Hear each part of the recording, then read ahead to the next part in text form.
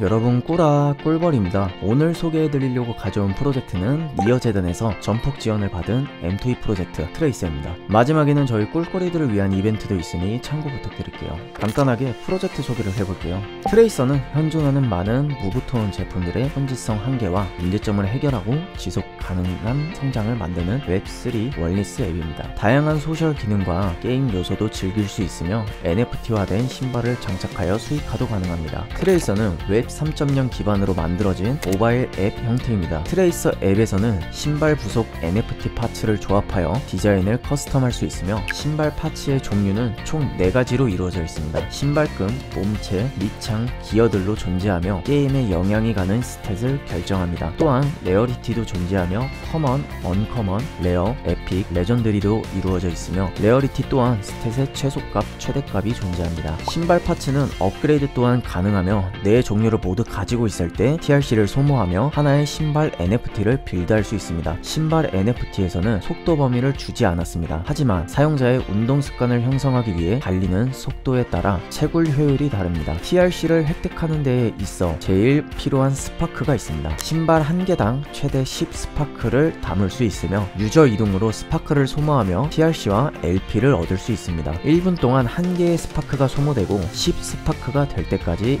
2.5 스파크 가 매 6시간마다 보충됩니다. 또한 내구도가 100이 아닐 경우 신발 분해는 불가능합니다. 신발의 파츠에 대응하도록 악세사리도 존재하며 E, L, M, R 총 4가지로 존재합니다. 악세사리는 stat 증가율이 높은 만큼 level up에 대한 파괴 확률도 존재한다고 합니다. marketplace에서는 신발 부품, 신발 본체, 악세사리 판매, 구입이 가능하며 신발을 팔기 위한 내구도 수치는 100으로 만들어야 판매가 가능합니다. 매직 스프레이는 신발 parts의 stat을 영구적으로 향상시키는 소모품입니다. 매직 스프레이는 lucky box 안에서 찾거나 marketplace에서 구입할 수 있습니다. 이렇게 트레이서의 추후 정식 출시된 앱에서 사용할 NFT를 알아보았습니다. 그 밖에 holder가 아닌 대상분들도 플레이가 가능하며 tier 시스템, 메타버스, tokenomics, governance도 잘 짜여져 있습니다. 주의 깊게 봐야 할 거는 트레이서는 니어체인에서 엄청난 지원을 받으면서 성장하고 있는 M2E 프로젝트입니다. 저 또한 슈퍼워크 스니커즈를 보며 트레이서가 기대가 되며 마무리로 프로젝트에서 지원해주신 테스터 5장 이벤트를 진행하겠습니다. 댓글 참조 부탁드릴게요. 재밌게 보셨다면 구독과 좋아요,